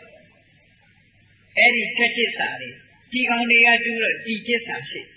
ပဇွန်လုံးတွေကမြေကြီးထဲကျင့်ဝင်ပြီးထွက်လာတဲ့ပဇွန်ချစ်စာရှိအဲ့ဒီလိုသူ့ဘာသူအလိုလျောက်ဖြစ်လာတဲ့မြေမျိုးကိုလိုက်ရှာပြီးတော့အိုးလုံးငန်းနဲ့အသက်မွေးတယ်။အုပ်ဖုတ်တဲ့အခါမှာလည်းပဲအခုနိုင်ငံသားတွေမှာရောင်းလူမရှိပဲနဲ့ပစ္စည်းတွေထားလိုက်ရှိတယ်။ဟိုအနောက်တိုင်းတွေမှာဆိုလို့ရှိရင်သတင်းစာရောင်းလူမရှိဘူးဒီတိုင်းပုံထားတယ်။လူကျင်တဲ့လူက ကောက်ဆွဲသွားပြီးသတင်းစာရဲ့တန်ဖိုးကိုပတ်စံလေးထည့်ထားခဲ့ရတယ်။ဟုတ်ကဲ့။အဲ့ဒါလောက်လေးတော့မခိုးကြဘူးတိတ်ပြီးတော့များများဆိုင်တော့ခိုးခြင်းခိုးမှာပေါ့ဗန္ဓမြတွေပါတော့ရှိမှာပေါ့။အဲ့ဒီသတင်းစာဘိုးလောက်တော့ဘူးမှမခိုးဘူးတဲ့။သတင်းစာလေးယူသတင်းစာတန်ဖိုးထည့်ထားခဲ့ရောင်းသူမဲ့ချောရမကာတွေဆိုရင်လည်းဘူးမှမရောင်းဘူးဆက်ကလေးနဲ့အဲ့ဒီမှာပတ်စံလေးထည့်ပြီးတော့ခလုတ်ကလေးနှိပ်ပြီးတော့အဲ့ဒါကိုလိုချင်တဲ့ပစ္စည်းယူသွားကြတာပဲ ဒီမှာဆိုပြောင်းကောင်းပြောင်းမယ်ထင်တယ်နော်ဟိုမှာတော့အဲ့လိုရောင်းလို့မရှိမိထားလက်မှရောင်းတယ်လို့မရှိဘူးမြေထားတဲ့သွားမြေထားလက်မှရောင်းတယ်လို့မရှိဘူးစက်ကရိယာလုပ်ပေးတာအဲ့ဒီစက်ထဲမှာထည့်လိုက်ထည့်လိုက်ပြီးတော့ကိုသွားမဲ့ခင်းကြီးတဲ့နံပါတ်တွေရေးထားတယ်ဘယ်မှာဆိုရင်ဘလောက်ဘယ်မှာဘလောက်ဆိုတာအကုန်လုံးတန်ဖိုးတွေရေးထားတယ်အဲ့ဒါထည့်ပြီးတော့အဲ့ဒီကလုတ်ကိုနှိပ်လိုက်လို့ရှိရင်လက်မှတ် ကိုပေးတဲ့တန်ဖိုးနဲ့ရတယ်လက်မှတ်တစ်စောင်ရတယ်ရောင်းတဲ့လူမရှိဘူးဆက်နေပဲထားဒီဂတိကာရအိုးရင်းတဲ့ကြီးကလည်းအဲ့လိုပဲသူကိုယ်တိုင်ထိုင်ပြီးတော့အိုးတွေကိုရောင်းနေတာမဟုတ်ဘူးသူကပြောတာကအိုးလိုချင်တဲ့လူအိုးလို့အိုးယူထိုက်တဲ့အိုးကိုယူအိုးမျိုးစုံထားတယ်အေးအိုးနေရတော့ဆန်တုပ်ကလေးတွေပဲတုပ်ကလေးတွေအိုးရဲ့တန်ဖိုးအလိုက်သတ်မှတ်ထားတဲ့ဆန်ကလေးပဲကလေးတွေထားခဲ့ပါသက်ဆံမရှိဘူးဟုတ်ကဲ့ဘာတာစနစ်လို့ခေါ်တာ ပေါ့ပစ္စည်းပစ္စည်းချင်းဖလှယ်တဲ့နည်းနဲ့သွားတာသူကအဲ့ဒါသူ့ရဲ့အသက်မွေးဝမ်းကြောင်းအဲ့လိုသူလောက်တဲ့အိုးကိုလူတွေကလည်းပဲဂတိကာရကိုစေရနာထားကြတယ်။အော်မျက်မမြင်မိဘနှစ်ပါးကိုလှုပ်ချွေးနေတယ်တကယ်သူတော်ကောင်းကြီးဆိုပြီးတော့ပိုးပိုးမှုမှုဥပမာမဲ့အိုးတစ်လုံးကိုဆန်တပြီဆိုလို့ရှိရင်တချို့ကလည်းနှစ်ပြီပိုးပိုးမှုမှုထားခဲ့ကြတယ်။ပဲနှစ်ပြီထားခဲ့တယ်ဆန်နှစ်ပြီထားခဲ့တယ် ဒီလိုပိုးပိုးမှုပြီးသွားကြတယ်။အဲဒီလိုပြီးသွားတဲ့ဆန်နေစီတွေနဲ့ပဲသူကချက်ပြုတ်ပြီးတော့မိဘနှစ်ပါးကိုလှုပ်ချွေးတာတဲ့ဂတိကာရောဂတိကာရာမြည်ရှိတဲ့ဩရိနေကြီးဟာ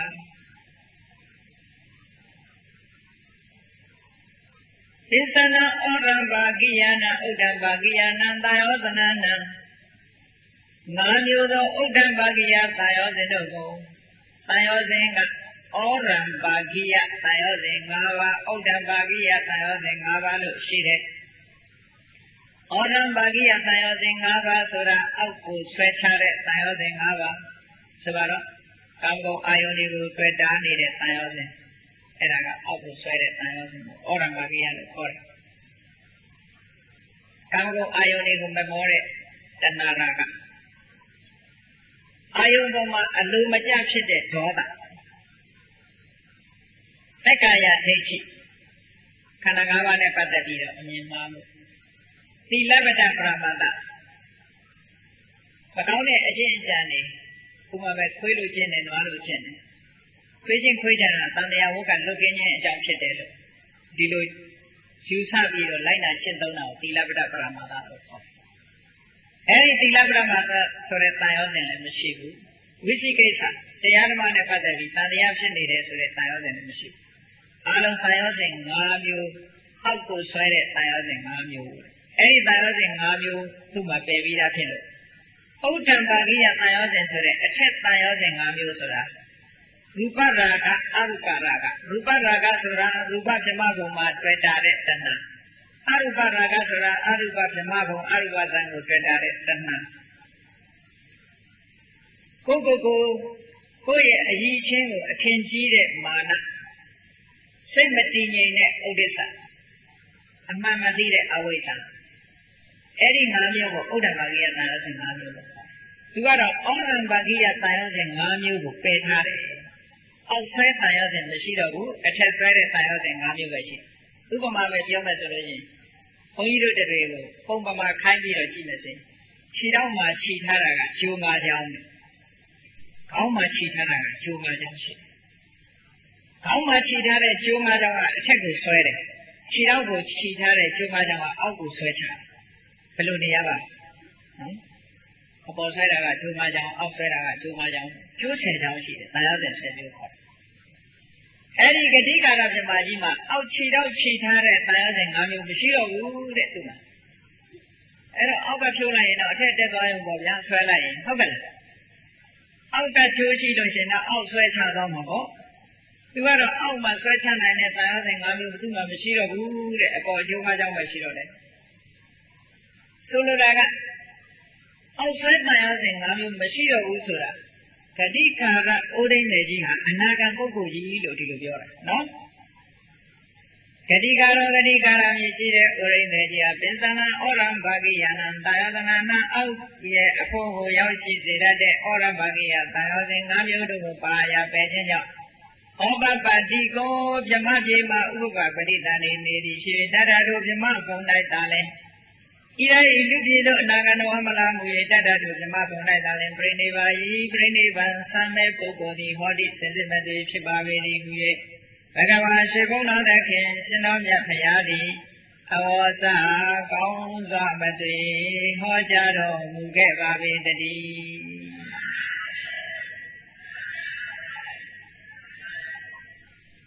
ဒီလိုထူးခြားတဲ့ပုဂ္ဂိုလ်ကြီးဟာသူကအနာဂံပုဂ္ဂိုလ်ကြီးပဲအဲ့တော့အနာဂံပုဂ္ဂိုလ်ကြီးကလည်းလူဘဝမှာလောက်ကင်စားတော့လို့ရတယ်နော်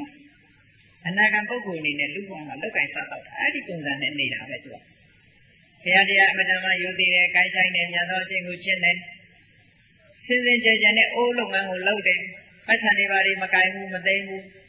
ပေးလို့ရလာတဲ့ဆံလေးပဲလေးနဲ့အဲ့ဒါနဲ့ချက်ပြုတ်စားတော့တယ်ဟော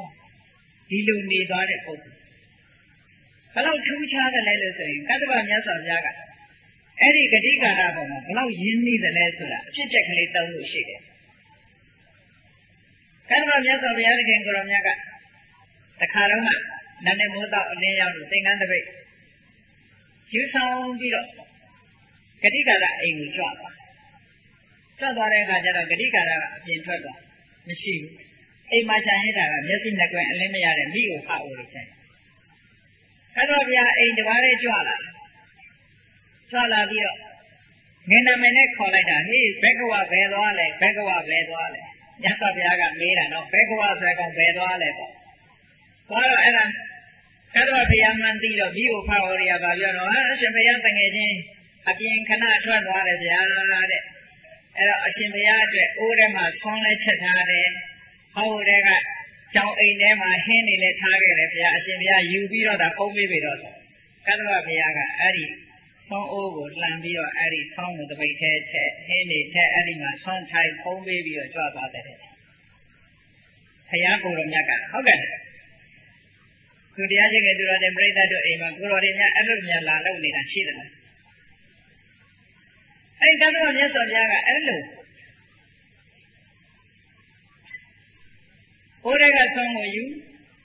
ဟင်းဘိုးတွေကကြောင်အိမ်တွေကဟင်းကိုခတ်ပြီးတော့ကတ္တဝဘုရားအဲ့ဒီမှာထိုင်ပြီးတော့ကြွသွားကတ္တဝဘုရားကြွသွားတဲ့အခါမှာခုနကဂတိကာရအိမ်ပြန်ရောက်အိမ်ရောက်တော့ထမင်းဘိုးလှန်လိုက်တော့ထမင်းတွေကောင်းနေမရှိဟင်းကြောင်အိမ်လေးရှိတော့လေဟင်းတွေပြောင်းဟာထမင်းတွေဟင်းတွေဘယ်သူလာစားသွားတာတော့ပေါ့မေးတော့အေးမင်းရဲ့တငယ်ချင်းမင်းရဲ့ကတ္တဗဖရာလာပြီးတော့အဲ့ဒီမှာ ဖုံးမေးသွားလေဆိုတော့ဂတိကာရကြီးကဝမ်းသာလိုက်တာတဲ့အဲ့ဒီဝမ်းသာနေတာဘယ်နည်းကြာတော့ဆိုရင် तू မစားနိုင်မတော့နိုင်ဝမ်းသာနေတာနော်ဝမ်းသာလဲဆိုတာဟိုမစားနိုင်မတော့နိုင်ဝမ်းသာလုံးအားကြီးတော့ဝမ်းသာလုံးဆို့ပြီးတော့နေတာ15ရက်ကြာတဲ့နှစ်ပတ်နှစ်ပတ်သူအမတန်မှဝမ်းသာသူ့အမေဖေတွေကဝမ်းသာလိုက်တာ9ရက်ကြာတယ်သူက15ရက်ကြာ14ရက်ကြာဟုတ်ကဲ့ပီတိဒုက္ခ စိတ်ထဲမှာနှစ်ချိုင်ပြီးတော့ခန္ဓာကိုယ်ထဲမှာစိတ်ကငြိမ်းချမ်းပြီးတော့ချမ်းသာနေတယ်နှစ်ချိုက်တယ်ချမ်းသာတယ်ဝမ်းသာတယ်မြတ်စွာဘုရားအော်တို့ချီးမြှောက်တာအကြည်စမ်းဆွမ်းနေဟင်းတွေယူပြီးတော့ဖုံးပေးသွားတယ်ဆိုတော့ဝမ်းသာလုံးအကြည်လို့နော်တချို့ကမာကြီးတွေလည်းအိမ်မှာရှိတဲ့ဆွမ်းနေပါလေကတ်လိုက်နေရလို့ရှိရင်စိတ်ထဲမှာဝမ်းသာပြီးတော့ကျဉ်းနှံ့နေကြတာရှိတာပါဟုတ်ကဲ့ကဲနောက်တစ်ခါအဖြစ်အပျက်တစ်ခုကလည်းဒီလိုပါပဲကတ္တဝမြတ်စွာဘုရားကြွလာတယ် ဂတိကာရကအပြင်ထွက်သွားတယ်ဒီဘက်ကဝဘယ်သွားတော့သာကိုရောတငယ်ချင်းအပြင်ထွက်သွားတယ်တဲ့အဲ့ဒီတောင်းထဲမှာမယောမုတ်ရှိလေရဲ့ကြောင်အိမ်ထဲမှာလည်းဟင်းရှိလေရဲ့ကိုရောပါလေးယူပြီးတော့ဖုံးပေးပါတော့ဟိုကမျက်စိမှမမြင်တာဘူးပဲကန့်နေတယ်ဟုတ်ကဲ့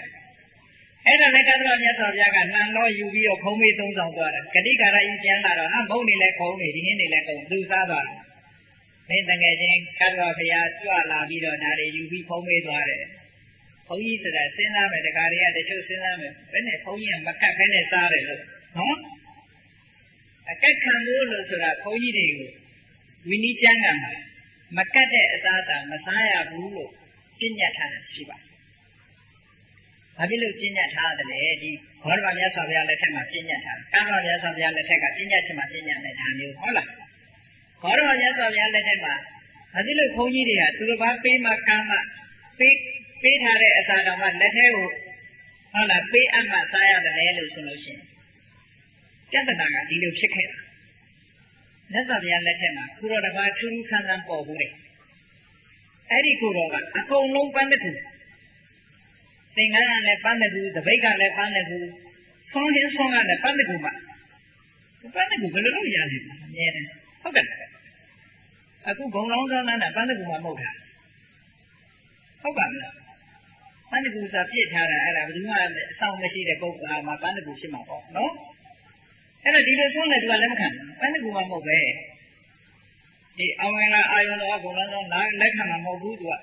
သူကအကုန်ပန်းတကူသင်္ကန်းနဲ့ပန်းတကူသင်္ကန်းဟုတ်တယ်ဒါဘိတ်ကလည်းပန်းတကူဆုံးရတဲ့ပန်းတကူဆိုတော့ဆုံးပန်းတကူရတော့ဆိုတာအလုံးခဲရင်အဲ့တော့ဆုံးပန်းတကူသူကဘယ်ရဘယ်ကရတယ်လဲလို့ဆိုလို့ရှိရင်အဲ့ဒီခိကံလူတွေက သူတို့ရဲ့ဆွေတွေမျိုးတွေအဖိုးအဖွားတွေကြိုက်တတ်တဲ့အစာကိုတင်းတိုင်းကဘူပေါ်မှာသွားတင်ထားတယ်ဟုတ်ကဲ့သူကလည်းတချို့ရှိတယ်လို့ကြားဘူးလေအမလီပလင်းတောင်သွားထောင်ပေးထားတယ်လို့ကြားဘူးလေပဲအဲ့ဒီကြိုက်တတ်တဲ့အစာဆိုပြီးတော့စီကရက်တို့ပလင်းတို့သွားတင်ပေးတာမျိုးရှိတဲ့အဲ့ဒီကိုတော်ကဒီ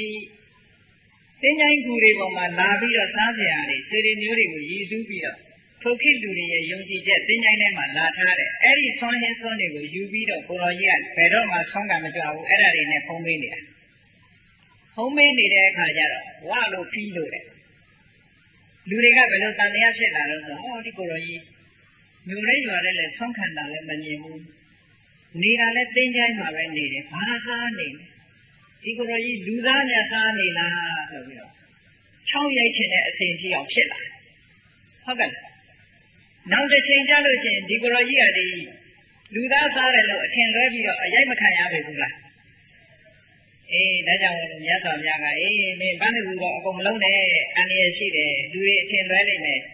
ဆောင်းတော့ဘန်းတူမလုံးနဲ့လို့ဆိုပြီးတော့ယဟန်ဆိုတာပေးမှကတ်မှစားရမယ်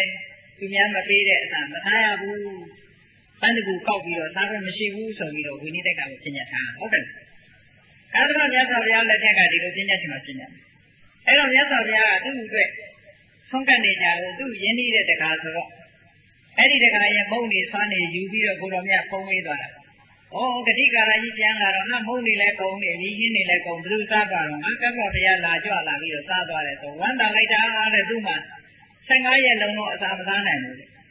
ဟုတ်ကဲ့လား အမေဖေတွေကတပတ်ကြာအစာမစားနိုင်ဘူးဝမ်းသာလုံးအကြည့်လို့ဒါနဲ့တည်းပီတိဖြစ်နေကြတယ်အလွန်ကောင်းတဲ့ပီတိနောက်တစ်ချိန်ကျတော့ဘာဖြစ်တယ်ဆိုအဖြစ်ပြက်၃ခုရှိတယ်နောက်တစ်ချိန်ကျတော့အဲ့ဒီကတ္တဝမြတ်စွာဘုရားရဲ့ကျောင်းကမိုးယုံမိုးယုံနေတာကတ္တဝဘုရားကပြောတယ်အေးမင်းတို့ဂတိကာရအိမ်ကိုယဟန်တွေကိုလွှတ်လိုက်တာဂတိကာရအိမ်ကိုသွားကြအဲ့ဒီကနေအမိုးမိုးစရာမြက်ပေါ့တက်ခဲ့ပေါ့ခုခေတ်လို့ဆိုရင်တော့ အဲဒီတက်ကဲသွားရှာကြတာတက်ကဲသွားတောင်းကြဆိုတော့ရဟန်းတွေကလျှောက်တယ်ရှင်ဘုရားသူ့အိမ်မှာတက်ကဲအကိုမရှိဘူးဗျာတဲ့သူအိုးလုံးတဲ့တဲကြီးမှာတော့တက်ကဲတွေမိုးထားတာရှိတယ်ဒါပြင်သွားဖြတ်ယူကြပါလို့ဆိုအဲ့ဒီကိုတော်တွေသွားပြီးတော့အဲ့ဒီအမိုးလုံးတဲ့တဲကတက်ကဲတွေအကုန်ဖြတ်ယူထားတာတဲ့အာအမိုးပေါ်ကတက်ကဲတွေဖြုတ်ကြဖြတ်ကြတော့ဟိုမျက်မမြင်အမေဟိုဖေဟိုတွေကကြားတာဟဲ့ဘသူတွေလဲအမိုးတွေဖြတ်နေကြတာဘသူတွေလဲဆို ကိုတော်တွေကပြောတယ်ဘုန်းကြီးတွေပါဘုရားရဲ့ကျောင်းတော်မိုးမိုးယူနေလို့ဒီကအမိုးတွေကိုလာဖြုတ်တာလို့ဆိုဟောဖြုတ်ကြပါဗျာဖြုတ်ကြပါဗျာကြိုက်တယ်လို့ယူကြပါဗျာအမေပြီရဲ့ဂတိကာရကြီးကမရှိဘူးအပြင်သွားနေတာပြန်လဲလာရောသူအိုးလုံးတဲ့တဲကြီးကတက်ကဲဟောင်းလောင်းဟုတ်ကဲ့တက်ကဲဟောင်းလောင်းလည်းမြင်တော့ဟာဒီတက်ကဲတွေဘယ်သူယူကုန်တာတော့အမိုးတွေဘယ်သူဖြတ်ယူသွားတာတော့ဆိုဩကတ္တဗဘုရားရဲ့ ကျောင်းတော်ဟာမိုးမလုံလို့တဲ့အဲ့ဒီအမိုးတွေအကုန်လာယဟန်တွေကဖြတ်ယူသွားတယ်ဆိုဝမ်းသာလိုက်တာတဲ့သူစိတ်ထဲမှာအားသူစိတ်ထဲမှာရှင်းနူးတယ်ငါ့ပေါ်မှာဖခင်ကဒီလောက်ယဉ်နေတာကိုငါပစ္စည်းပေါ်မှာငါဒီလောက်ယဉ်နေတာပဲလို့ဆိုပြီးတော့15ရက်နှစ်ပတ်တိတိ14ရက်နှစ်ပတ်တိတိဂတိကာရကြီးကပီတိတွေဖြစ်နေလိုက်တာသူ့အမေဖေတွေကတော့9ရက်ပီတိဖြစ်တယ် ဒါတွေမကဘူးတမိုးပင်လုံးအဲ့ဒီအမိုးဖောင်းလောင်းကြီးနဲ့မိုးတဲ့ကြီးကမိုးတွေဘလောက်ရွာရွာအဲ့ဒီမိုးတစ်ပေါက်မှမကြဘူးထူးဆန်းတာနော်ခုခေတ်ကဆိုရင်တက်ကဲမိုးဆိုထင်သေးကောင်းသေးလိုက်မယ်ဘုန်းကြီးတို့ဂျာမနီသွားတာဂျာမနီသွားတော့အဲ့ဒီနားမှာတက်ကဲမိုးထားတဲ့အိမ်ကြီးတွေ့တက်ကဲဆိုတော့အခုဗမာပြည်ကတက်ကဲလို့တော့မအောင်မေးနဲ့တက်ကဲတော့တက်ကဲပဲ ဒါပေမဲ့သူကအမိုးကကြာကြာနာနာလှုပ်ထားတယ်တက်ကဲဒူးကဘယ်လောက်ရှိတုံးဆို6လက်မလောက်ထူဒီကလို့ပါပါလိုက်မဟုတ်ဟာဒီအိမ်ကြီးကဘာဖြစ်လို့တက်ကဲတွေမိုးထားတာလဲဆိုတော့သူတို့ကပြောတယ်မရီဒါတာမန်လူမမိုးနိုင်ဘူးတဲ့တထေးမှနေနိုင်တာတဲ့တက်ကမိုးအိမ်ဟုတ်လားတက်ကမိုးအိမ်ကမိအာမကလည်းအများကြီးပေးရတယ်တဲ့တက်ကတထေးမှဒီအိမ်ကနေနိုင်တာတဲ့တာမန်ပုဂ္ဂိုလ်မနေနိုင်ဘူးတဲ့အဲ့တက်ကမိုးနဲ့အိမ် သူမိုးနဲ့အိမ်နေတာတထေးမဟုတ်ဘူးတဲ့အဲ့တက်ကမိုးနဲ့နေတာကတထေးတဲ့ကြောင်းလိကြောင်းမြန်မယ်ဟုတ်ကဲ့တက်ကရလည်းကောင်းလိုက်တာအထူကြီးကအဲ့ဒါ6လလောက်ထူတယ်သူတို့စီမိုးတာအေးအဲ့လိုနေမှာပဲအခုလည်းပဲကာရဝမြတ်စွာဘုရားရဲ့ကျောင်းတော်မှာတက်ကယ်မိုးတာရာသီဥတုအမတန်ကောင်းတယ်လို့ဆိုတက်ကယ်မိုးတာတဲ့အိမ်ကသူတို့နိုင်ငံမှာသိပြီးတော့စနိုးတွေပါတွေကြားတဲ့အခါကျတော့အလွန်အေးတာအလွန်အေးတော့အဲ့ဒီတက်ကယ်မိုးကစ နိုးတွေကိုလည်းထိမ့်သိမ့်ထားနိုင်တယ်နှွေးတယ်နှွေးရသည်ရောက်တဲ့အခါကျတော့လည်းအေးတယ်ဒါကြောင့်မို့တက်ကယ်မိုးဟာတစ်ထေးမှနေနိုင်သလားမိအာမခံလည်းအများကြီးကျင်ထားအေးအခုဂတိကာရအိမ်ကအိုးလုံးတဲ့တဲကြီးကတက်ကယ်တွေအကုန်ဖြတ်ယူသွားတော့ဂတိကာရကြီးဟာအလွန်ဝမ်းသာပြီးတော့နေအဲ့ဒါလောက်ထူးခြားတဲ့ပုဂ္ဂိုလ်ကြီးမြတ်စွာဘုရားသခင်ကိုယ်တော်မြတ် ဘောရမမြတ်စွာဘုရားကကတ္တဗမြတ်စွာဘုရားရဲ့လက်ထက်ကအဖြစ်ဖြစ်ဂတိကာရရဲ့ဘဝတစိတ်သမိုင်းပုံရိပ်တွေကိုတောတွင်တနေရာတစ်ပင်အောက်မှာရှင်အနန္ဒာကိုပြောနေတာဒီစကားတွေကဟုတ်ကဲ့နောက်ဆုံးမှမြတ်စွာဘုရားကရှင်အနန္ဒာကိုမေးလိုက်တယ်အေးဇောတိပါဠဆိုတာတခြားလူမမှတ်ကြနဲ့တဲ့ငါပဲတဲ့ဟိုလုံးဟုတ်ကဲ့လား သဘင်ဆိုင်ပေါ်မှာဘုရားထံလိုက်တဲ့ဇောတိပါဠဟာတခြားလူမဟုတ်ဘူးတဲ့ငါပဲအဲ့ဒီလိုမြတ်စွာဘုရားကဒီသုတ်တံမှာဏီကုံချုပ်လိုက်တယ်တရားစိတ်ကင်သူတော်တင်ပြိဿတို့ဟောဒီသုတ်တံထဲမှာဂတိကာရရဲ့စိတ်နေစိတ်ထားမွန်မြတ်ဖို့တငယ်ချင်းတယောက်ကိုကောင်းရမွန်ရဆွဲခေါ်တဲ့နေရာမှာဇွဲရှိတဲ့ပုံလောက်ကောင်းပုံဟုတ်ကဲ့အခုလည်းပဲတူတူပဲ အခုဒီအင်းကြီးကိုဆောင်ရွက်နေကြတဲ့ပုဂ္ဂိုလ်တွေတငယ်ချင်းတွေကိုဆွဲခေါ်ကြကောင်းတဲ့လုပ်ငန်းတစ်ခုမပါပါအောင်ဆွဲခေါ်အလွန်ကောင်းတယ်အလွန်ဇွဲရှိရမယ်သိခံရမယ်ဇွဲရှိရမယ်ကတိကာရဥရိနေကြီးကဇောတိပါဏကိုဘုရားစီမရောက်ရအောင်ပို့ရောက်သွားတဲ့အခါခြေစည်းတွင်နေမှုကနောက်ဂတိကာရဩရင်းတဲ့ကြီးကဘယ်တော့မှအလူကံပုဂ္ဂိုလ်တွေနဲ့ပတ်သက်ပြီးတော့ စိတ်ထက်ပြင်းမှမှုဘယ်တော့မှမရှိဘူးစိတ်ပြောင်းလဲမှုဘယ်တော့မှမရှိဘူးအဲမို့ဆောင်းလောင်းသိန်းကြီးမှာဆောင်းရနေကြတဲ့ပုဂ္ဂိုလ်တွေလည်းပဲကိုယ်ရလေးတွေနှစ်ခါသုံးခါတိုးလို့လည်းပဲစိတ်ထဲမှာဂတိကအောင်မဖြစ်တတ်ဟုတ်ကလားအေးတို့အလူတိုးတာပဲလို့ဒီလိုအောင်းမရစိတ်ထားတိုက်အမတန်မှမမြတ်တယ်ရသော်ဘုရားခင်ကိုရောမြတ်ကဒီဂတိကာရရဲ့ဘဝပုံရိပ်တွေဘဝတစိတ်သမိုင်းပုံရိပ်တွေကိုပြန်ပြီးတော့ဟောတာအဲ့ဒီဂတိကာရဟာယခုအခါမှာ သုဒ္ဓဝါဒပုံမှာဗြမာကြီးတူဖြစ်နေပါပြီတဲ့ဘုရားအလောင်းတောထွက်လာတဲ့အခါကျတော့ခြာသင်္ကန်းကြီးကိုလာပြီးတော့ကတ်ထူသွားတာသူပါပဲဂတိကာရသုတ်တံမှာမြတ်စွာဘုရားသခင်ကိုရောမြတ်ကဒီလိုမှတ်တမ်းတင်ထားတော့ရှင်အနန္ဒမထေရကဣဒမောသဗ္ဗကဝါဣဒံဝတ္တဝဣဒမောသဗ္ဗကဝါအာယတမအာနန္ဒောဘဂဝေတောပါတိတံအဘိနန္တိ ဘဂဝါရှိခုတော်တကယ်ရှင်တော်မြတ်ဖရာသည်ဣဒံတုတ်တံဤဂတိကာရတုတ်တံကြီးကိုဩဝါဟောကြားတော်မူခဲ့ပါပေသည်အာတမအာနန္ဒောရှင်အနန္ဒတိဘဂဝေတောမြတ်စွာဘုရား၏ပါတိတံဟောကြားတော်မူခဲ့တဲ့ဂတိကာရဤဘဝတစိတ်သမိုင်းဘုံရဲ့ကိုအဘိနန္ဒီအလွန်နှစ်သက်စွာဝါမြောက်မှုမောတာရုခေါ်ခဲ့လေသည် ဣတိဤသို့ဣဒံသုတ်တံဤသို့ကိုနေထာပေသည်ကောင်းစွာမသွေပြီးဆုံးစေခဲ့ပါပေတည်း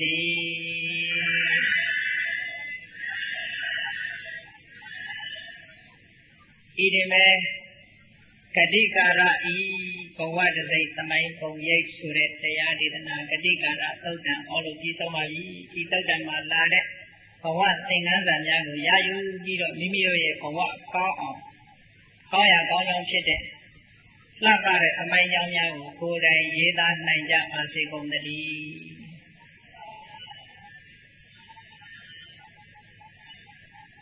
ကဲတရားဝဲသိရအောင်လိုက်ပြီးတော့မေတ္တာပို့သတ္တဝါများစွာေယံကွာချမ်းသာကြပါစေသတ္တဝါများစွာေ ယံကွာချချမ်းသာကြပါစေမေတ္တာရေချမ်းသံဃာဖြံငြိမ်းချမ်းကြပါစေမေတ္တာရေချမ်းသံဃာဖြံငြိမ်းချမ်းကြပါစေ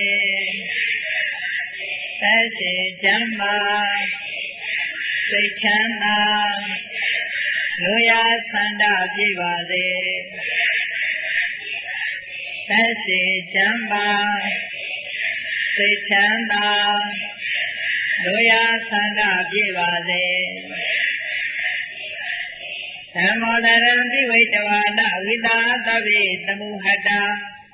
အာသရမရာတိတိဘာဝံနိဗ္ဗာနံယန္တုတာရော ဓမ္မောတရံလောဘဒေါသမောဟစိတ်တောင်းကင်းပြောက်ခြင်းတရားစေကိုဒီဝိတဝဝန္တာရှင်ပြသောက်ကြရအနာကြရဂုံသောကြောင့်ဝိသတရေကုစာညစ်နောက်ကိလေသာအစိတ်အတောက်အမှုသမျှတို့သည်သမုဟတောပိကြပဲတွင်ရေမတင်တကယ်သောကင်းစင်လွင်ပြောင်းပေမရောက်အောင်ပဲပြောင်းအပ်ကုန်သည်ဟောတုစင်စစ်မသွေဖြစ်ကြပါစေကုန်သတည်း အသရမရအိုခြင်းလေကွာနာခြင်းလေကင်းသေးခြင်းလေရှင်းထသောဒီတိဘဝကိလေသာဟုပုခတိန်ကိဉ္စရာစိဖြစ်ပေထသောနိဗ္ဗာန်နိဗ္ဗာန်ဟုခေါ်အေးမြတော်သောသာရောတရားချစ်ခင်စိတ်ကောင်းဝိညာသူတော်စင်များတို့သည်ယန္တုပါရမီအစဉ်စဉ်မြင့်တယ်မြင်၍ မလဲပုံသေးဆိုက်ရောက်တော်မူကြပါစေကုန်တည်း